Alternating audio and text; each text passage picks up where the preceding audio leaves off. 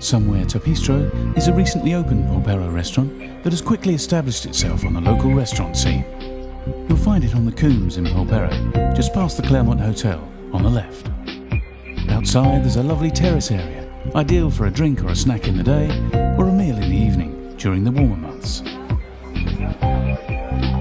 As you enter the restaurant, there's a welcoming bar area, serving draft Peroni, wide selection of bottled beers, and a great choice of wines. Here you can relax and enjoy a drink while you choose your meal from our unique menu. Unique because it combines a selection of bistro and tapas food, hence the name, Tapistro. Once you've chosen your food, you'll be shown to your table in our spacious restaurant.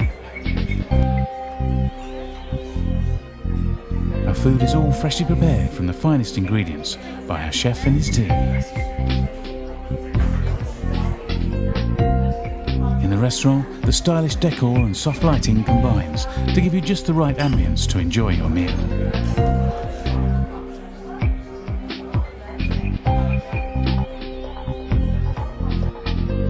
Whether you're looking for a romantic meal for two or somewhere to celebrate with friends and family, you can be sure of a warm welcome at Somewhere Tapistro in Polperro.